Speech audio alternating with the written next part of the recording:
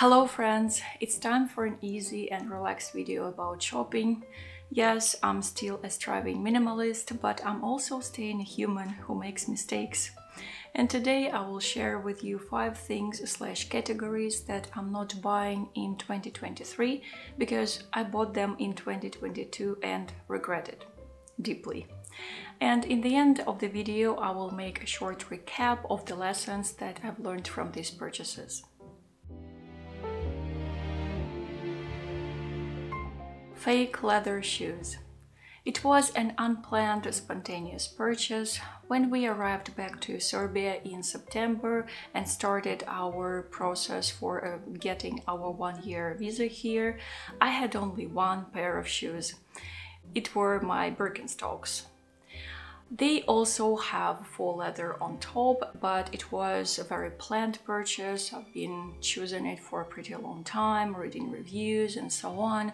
And also the store, the official store that I was buying it from had uh, only that model for narrow feet available.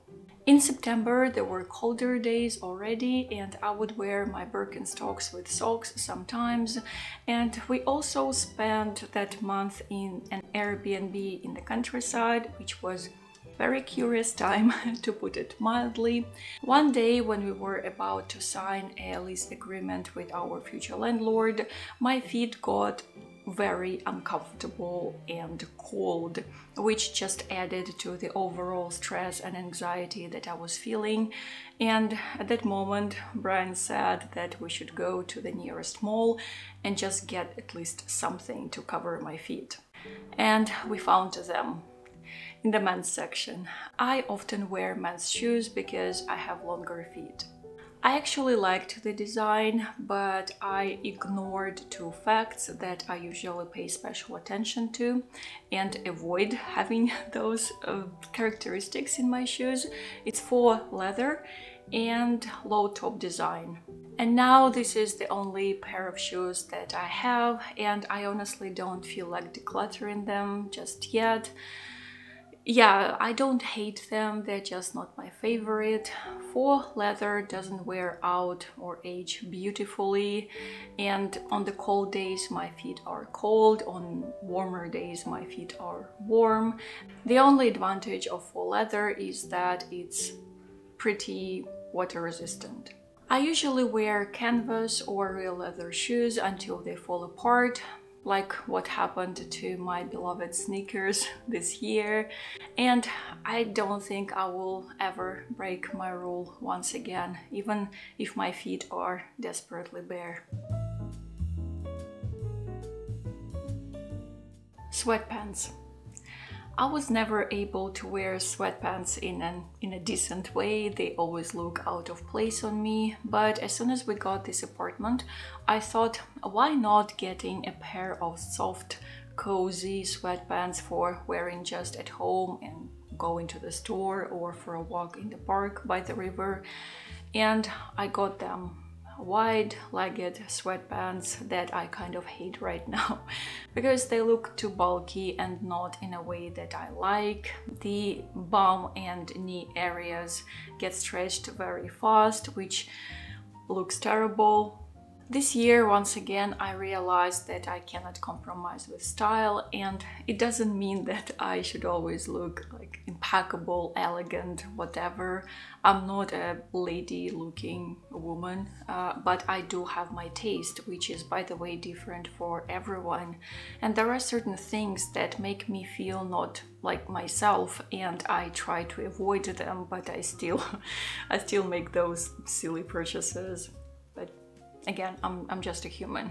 The minimalist part of me whispers, come on, wear them, you've spent your money, but I don't like them, they don't make me feel great, but still I wear them at least two times a week at home when I work at my desk. But, and I'm not afraid to make this bold announcement, I'm never going to buy a pair of sweatpants again, ever. That's it.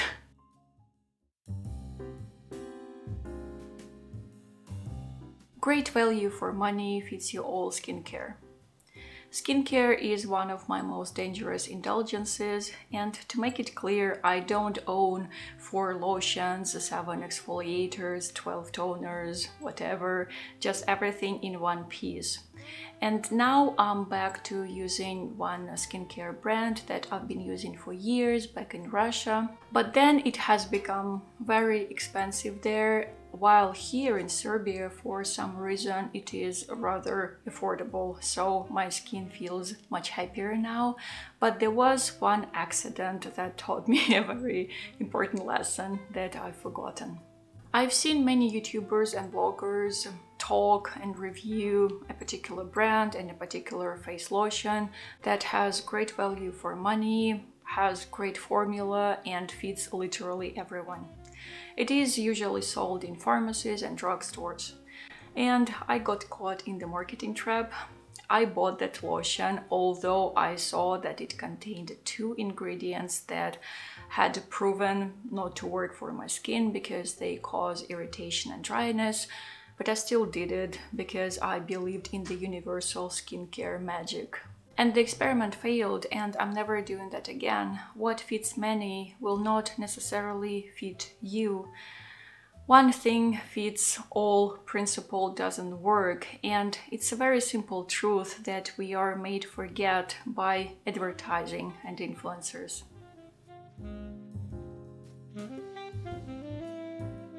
Zero waste natural skincare just for the sake of it being zero waste and natural.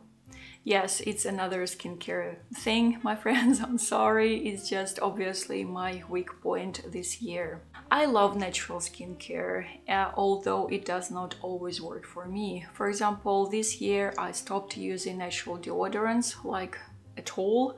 I'm just I just got tired of my clothes being ruined very fast and the fact that I have to wash them every given day and of course this experience is different for everyone but if you are like me struggling with natural deodorants you know what I mean.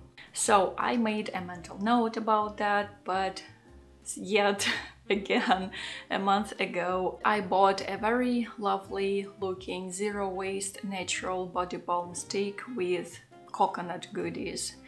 It promised, well, everything that we are promised by cosmetic companies. But it didn't work.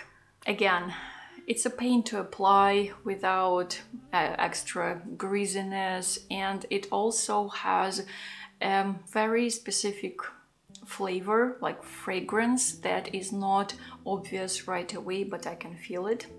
I have um, special aversion to one fragrance component that is usually used in coconut and vanilla flavored products, be them self-care or even food. And this component is called cinnamol. And I can say for sure that it's present in that product, although it's not mentioned on the label yeah, or maybe I wasn't attentive enough. No, I don't think that they mentioned it. But to cut the long story short, it was a failure. Some people might say that I'm making a big deal out of small issues, but failed purchases are not only the waste of money, which is pretty sensible because smaller sums compile into a big sum, but it's also a waste of time and energy and also pollution because one or two unused waste-free products uh, sitting in the bathroom cabinet is actually waste.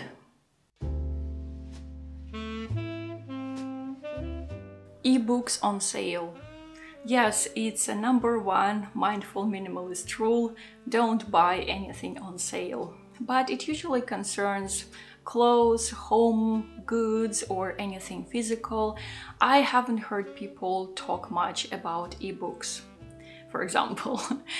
because they are cheaper than actual books, they don't take up space, literally, and they are considered kind of an intelligent self-care.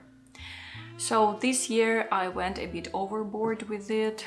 My two favorite ebook stores had quite a few sales this year and I bought everything that I wanted or was interested in, which was quite a lot. But guess how many books I didn't like and I haven't read till the end. almost a half. With books, it's pretty hard to predict whether you will be satisfied or not and for example, I'm a very picky reader and I never finish a book if I'm not in love with it. In one of my much, much earlier videos, I've already mentioned how I don't understand the trend of reading as many books as you can and bragging about it. And again, it's just my personal opinion that doesn't have to be the ultimate truth. This year I've read only 10 books from the first page to the last page and I've quitted reading even more books. And I still have about two dozens of new books sitting in my e-reader, which I think is a lot of clutter. That's why in 2023 I'm not buying any new e-books because they are on sale or they are widely discussed or like hugely promoted by YouTubers. And here's a recap of my unfortunate purchases. Think twice. Don't get trapped by marketing. Know thyself and stick to what works for you, not for anyone else. And once again, understand your reasons. This year has been very stressful and I resorted to shopping some days to make myself feel better, to recreate a cozy, homey feeling. And I just wanted to feel protected. I wanted to have many books in my native language that is not English. And that was how I tried to fight homesickness.